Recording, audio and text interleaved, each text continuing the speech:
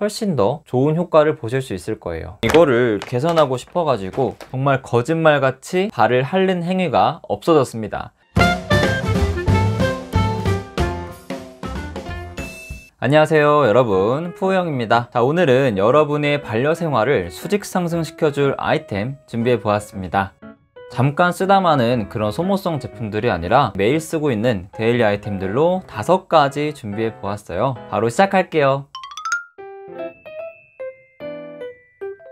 우리 아이들 산책하고 나서 응가하면 똥봉투로 응가를 줍고 하잖아요. 보통 손으로 들고 다니거나 가방에 넣거나 주머니에 넣는 분들도 있을 텐데 산책줄에 연결된 이 홀더에 그냥 연결시켜서 들고 다니면 됩니다 처음에 구매하면 이렇게 세 가지 구성품으로 되어 있어서 리드줄 구조에 맞춰서 잘 적용하시면 되고요. 귀여운 강아지 모양, 스누피 모양, 고무로 된 제품도 나오고 있어요. 저는 이게 가장 직관적이고 쓰기가 편리했습니다. 특히 이 봉투를 넣고 빼는 게 정말 쉬웠어요. 이렇게 대충 묶어놔도 풀리거나 빠지지 않고요. 굳이 묶지 않아도 고정 잘 됩니다. 그래서 응가를 집에 와서 따로 변기에 버리시는 분들이나 산책을 하면서 봉투를 재사용하는 분들 정말 추천드립니다. 이 드라이기 특징이 뜨거운 바람이 나오지 않고 원적외선이 나온다는 건데요.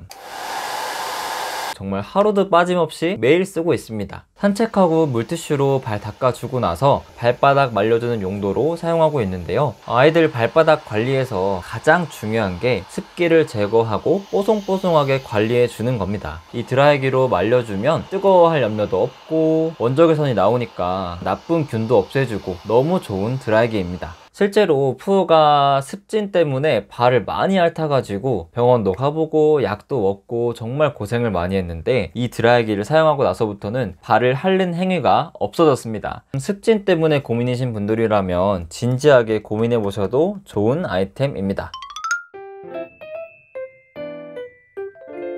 아이들 사료 보관할 때 있어서 가장 중요한 게 공기와의 차단을 막아주는 건데 그래야 아이들 사료가 맛있게 유지가 되고 영양소 보존도 온전하게 가능하다고 합니다. 그래서 최근 사료들을 보면 대부분 이렇게 지퍼락이 많이 달려있죠. 맨날 이렇게 열려 있는 경우가 많고 생각보다 많이 공기 중에 노출될 수밖에 없는 경우가 생기더라고요. 이거를 개선하고 싶어 가지고 이런 아이템이 있더라고요. 일반 사료 scoop이랑 다르게 집게가 달려있고 사료 위를 접어서 밀봉이 가능하고 보관도 동시에 할 수가 있어요. 뿐만 아니라 사료의 정량도 맞춰서 줄 수가 있습니다. small이 60g, large가 120g이라서 소형견부터 대형견까지 누구나 사용할 수가 있습니다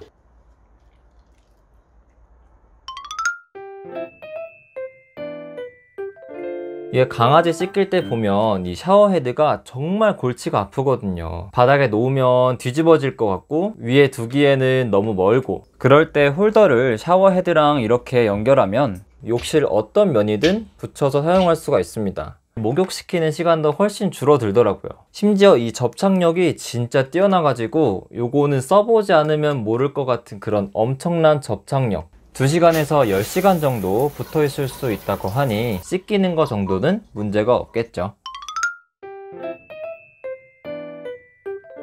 푸 눈물 닦아줄 때 너무 유용하게 쓰고 있습니다. 푸가 유루증이 있어서 어쩔 수 없이 눈에 눈물이 많이 생기고 흐르곤 하는데 그럴 때마다 이 화장솜으로 눈물을 닦아주고 있어요. 이렇게 젖은 부분을 화장솜으로 수시로 닦아주면 눈물 자국이 커지는 것을 막아줄 수가 있어요.